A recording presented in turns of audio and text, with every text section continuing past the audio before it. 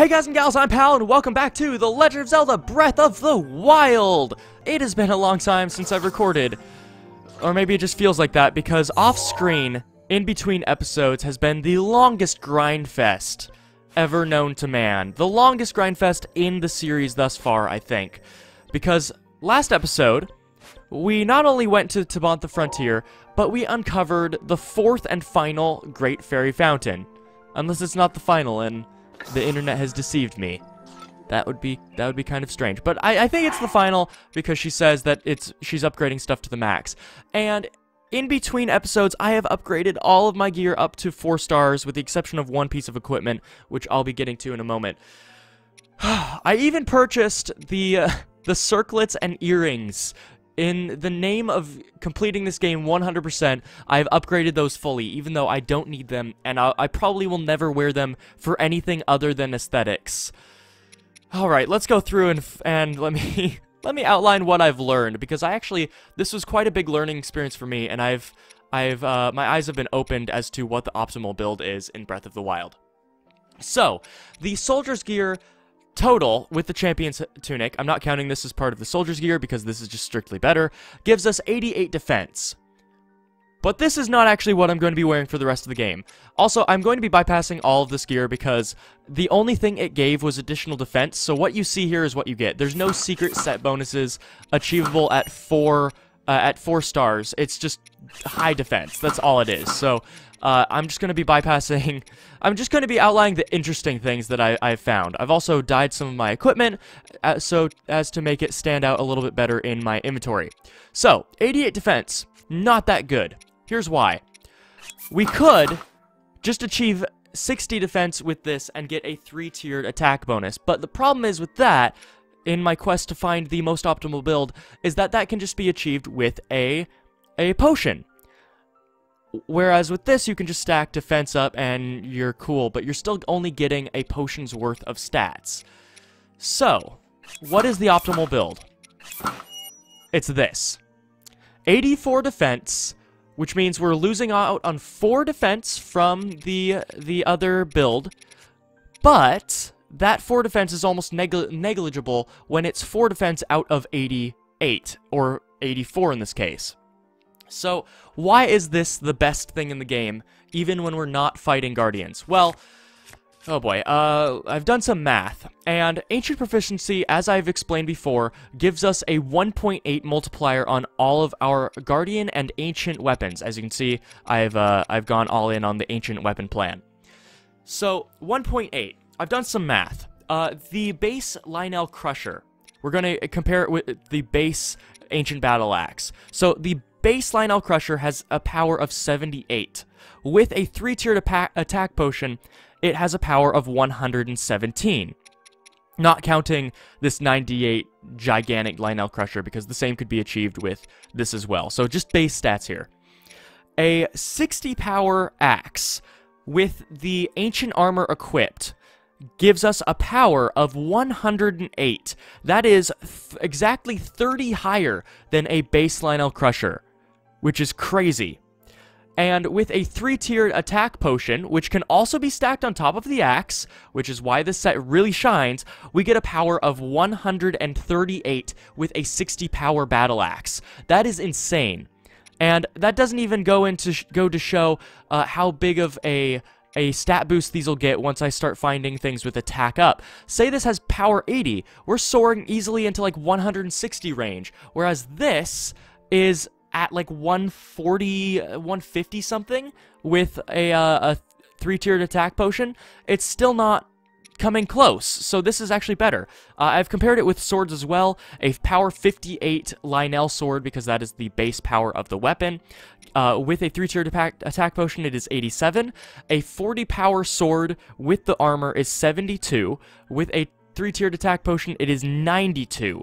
So that's just going well above and beyond the normal rate. Not to mention, not to mention, that Guardian Swords also get a 30% damage buff versus Ancient enemies. So we're soaring easily into 200 damage. And the Ancient weapon line gives a 50% damage buff. So that's like 230 at this point. So all in all, I found the ancient set is the best thing if we're fighting a boss and we're using attack potions. Otherwise, the best thing would probably be a Lynel sword with a uh, with my attack gear. But if I'm fighting a boss, this is above and beyond the best thing in in the game thus far. There may be something that tops this, I don't know, but so far, this is the best armor set in the game, which is kind of crazy. It's actually really crazy and I am pretty happy with it. So, what are we doing this episode now that I've gotten that out of the way? Uh, well, oh goodness. it's been so long, since, or I've played so much off screen, it's kind of hard to remember what we were doing. Uh, but I do know that we haven't gone to the beginning of this canyon. So I think we should go do that. We haven't, we've just been following the road, and as is our policy, we kind of, we go through the areas, uh, we go directly for the uh, the tower first, and then we go explore other things. So now that we've done that, we can kind of do some backtracking, hopefully find some Korok seeds, hopefully find uh, a, a shrine, and and get that done. But it really, it's it's been such a weird learning experience doing this, because we're to the point of the game where I'm having to do math.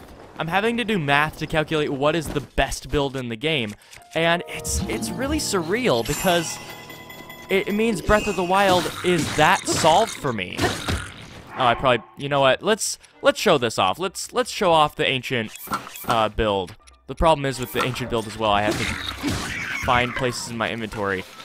So yeah, uh, it, man, it's it's really weird. We're we've come really far, and there's a Korok right there.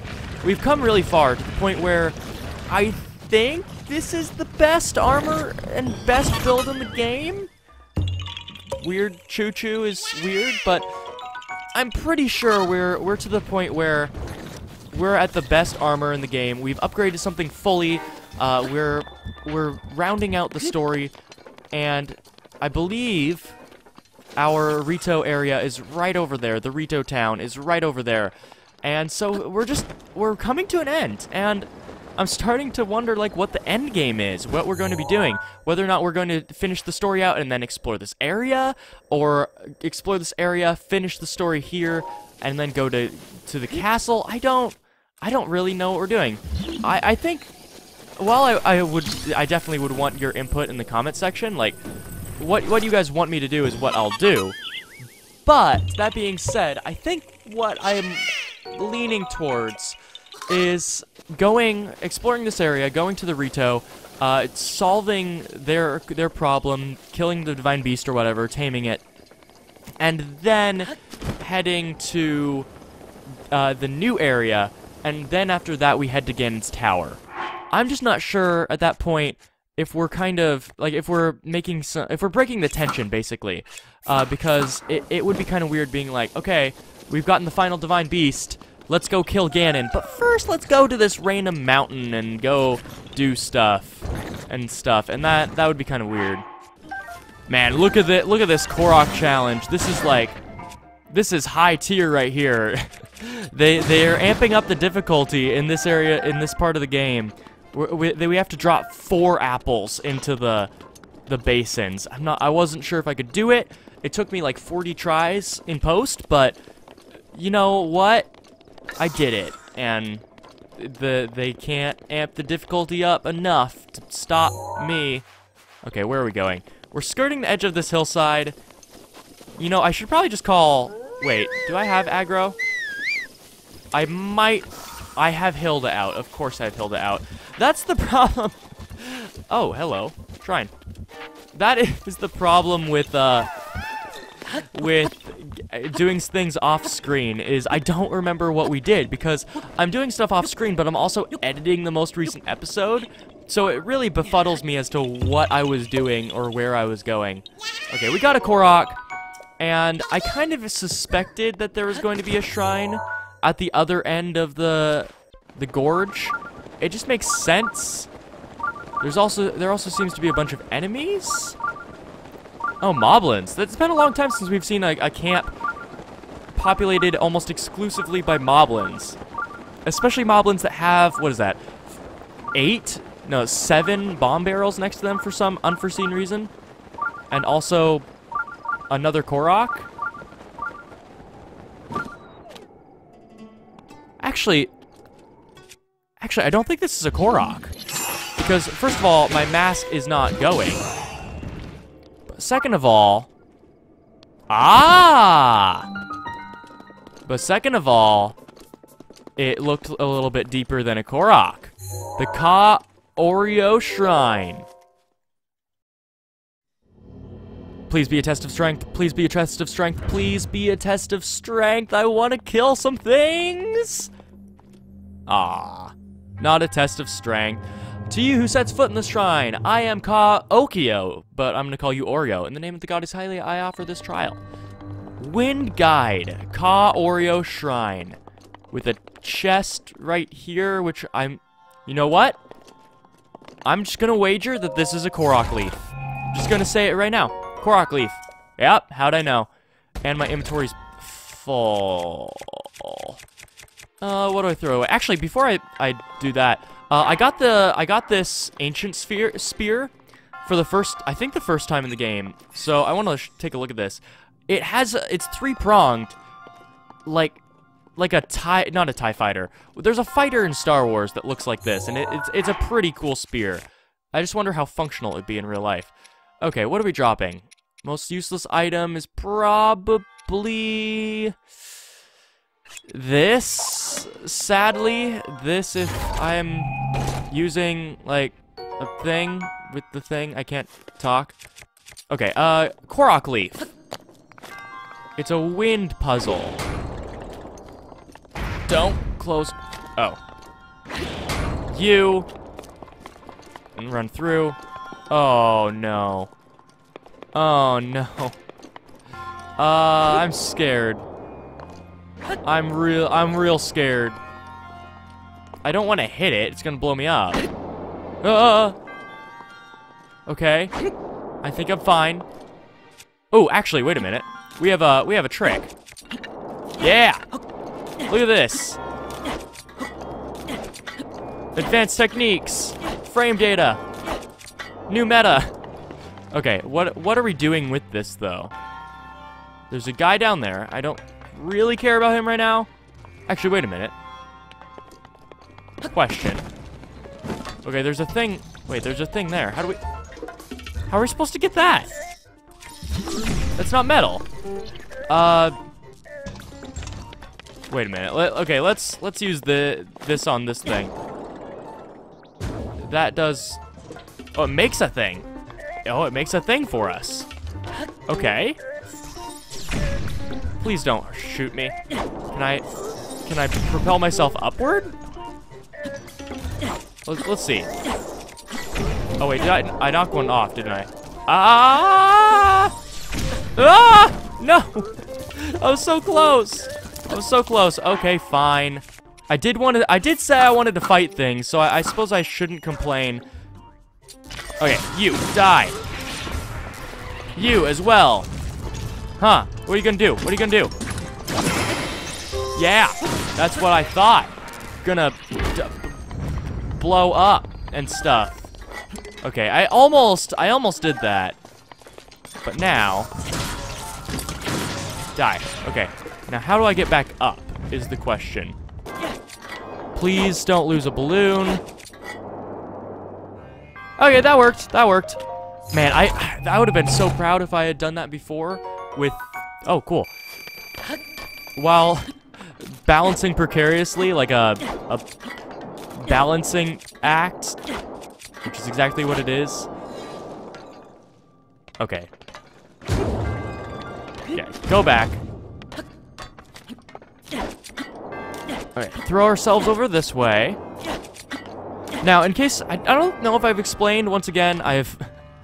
I, have been doing a lot of off-screen things. Uh, if you try to throw something, or shoot a sword beam, or use a uh, Korok leaf, th there's a normal, very lengthy delay to using the wind blast, but if you switch shields after every wind blast, it refreshes it. And it's a much stronger blast than just doing this. So the the end result is is going much faster or just abusing the system fairly handily. Okay, it looks like we're losing out on that weapon I dropped at the very beginning, which is really sad. Oh, hello. Uh, you, sir. Die.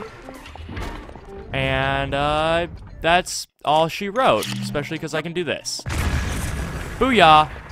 Okay, what's in here? A secret? A super Illuminati secret? Oh. Actually, no, I think this is where we're supposed to go, because th that thing was locked up there. So I think this is actually where we're supposed to go. Uh, presumably... Oh, that's what that does. Okay. I was gonna say it was gonna make me a... a platform, but that's not quite what it did. Okay, now I'm up here. A forest dweller sword. No, thank you. no thanks. I'll I will pass on that one. Okay, what is here? Nothing. Just a ladder. Another ladder. Man, this is this is one of the biggest shrines we've ever done, I think. Just it's it's very massive. Okay, climb down. Blow it up.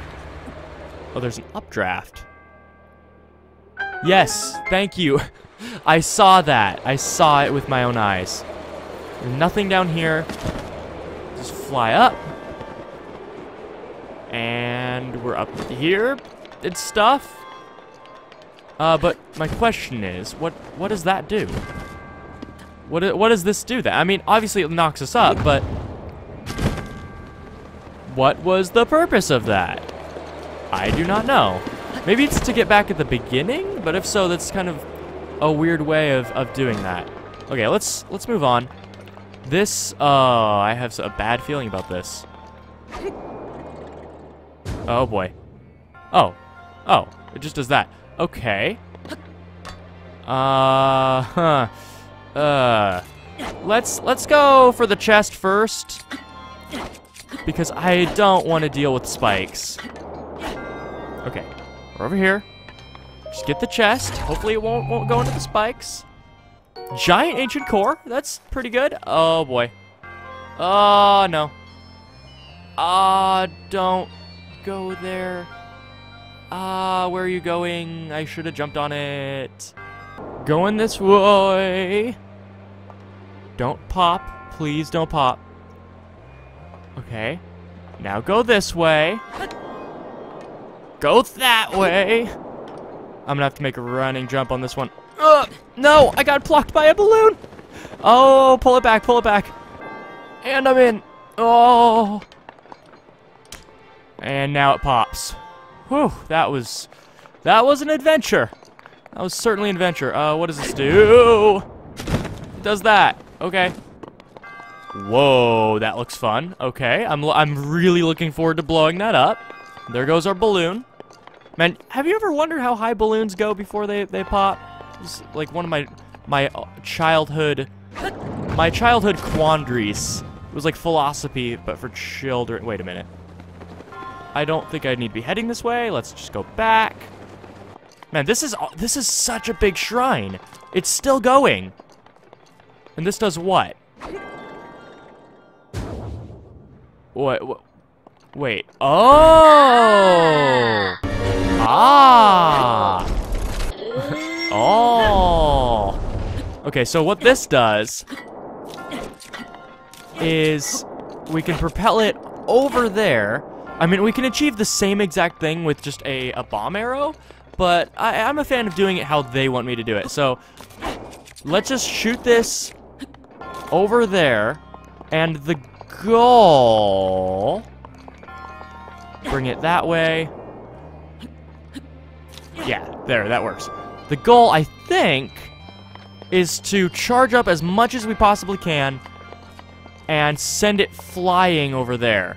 So let's try to get it stop to stop moving. I did not mean to do that. Okay. That should cancel it out.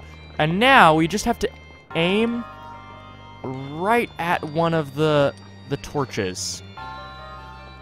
Okay. And go! Okay, and go! And Oh, come on. Go!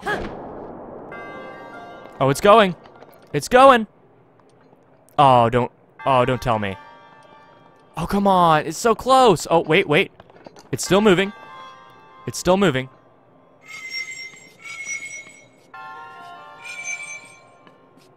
Go! Come on. Go! Oh, there goes! Oh! Oh, that was that was satisfying. That was very satisfying. Okay. Now, my question is, could we have just solved that by looking up when we were in here and shooting straight up? I think so. But I, I think the end result of doing what they wanted us to do is it's much more satisfying. One of the biggest shrines in the game, we get our small key, one of the biggest shrines in the game solved in a, in a very big fashion as well. And we don't, it, they're that they're that elaborate that we don't have to even go back the normal method. They gave us a special way to go back, which gets this. I don't remember this. I didn't see this. Gives us, uh, oh, oh, wow. That is, that's really considerate because then what we get to do, because we don't need a Korok leaf, this is their way of making up for whatever weapon we drop by giving us a, a Thunder Spear. I, I, this was a great shrine. Okay, let's, let's go. Huge shrine too. It, it felt almost like, like uh, one of the, the trials, like the tests of strength. Wait a minute. Okay, we've seen that room before. All right, I'll see you on the other side. But is there anything? No, that's not really land. That's just a slope. Oh boy, did not mean to fall down there. Let's just go back up. And let's, uh, let's not Let's not touch the butt today. Don't, don't flame me for that reference. Okay, so we're heading this way. I don't really care about clearing out. Oh, hello. Ah. How, how, much time is in the night? We we do need to go back to Satori because that that is a loose end. Uh, and we have a thing. We have a. Okay, I'm just gonna jump down here real quick. Yeah, we have been here. So wait a minute. Oh yeah, we've we've actually been here before. Mogg Latan Shrine. We still have some some time in the night left, so I believe the glow. Uh, let's see where where I need to go this way. Yeah, I need to go this way. The glow should just be on the other side of this this outcropping of rock. Oh wait. Oh, there's a a Dudikoff. Uh, I don't really care. Ooh. Okay, I don't know what to expect here. I really don't. So let's uh let's equip my gear and equip my sword because I have no clue what this is about. Whoa, boy. Uh, is are the Blupees gonna get revenge? Can I shoot them? I can. Is this just... Oh. Oh. Oh, whoa, what is this? No! No! What was that? What was that? If, were we supposed to shoot it? Oh, oh, oh, oh, it's back. It's back. Okay, well, clearly... Clearly fighting is not what we're supposed to do. What on earth? Lord of the Mountain. That is, that is gorgeous. Is this like the Lord of the Blupees?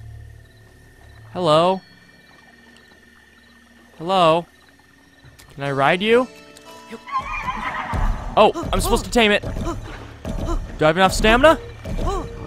Oh, this is taking a lot of stamina. Whoa, it took, it took all my bars of stamina. Also, that is creepy. That is this maliciously creepy.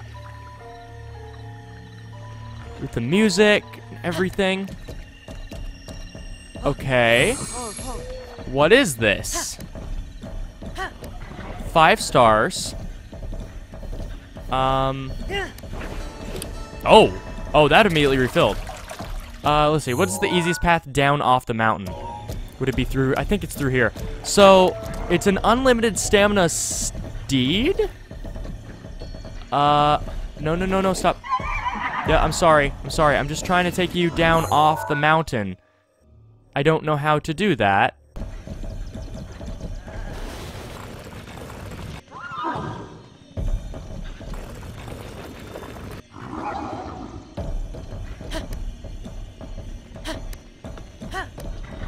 Okay, I barely managed to get it down the side of the mountain.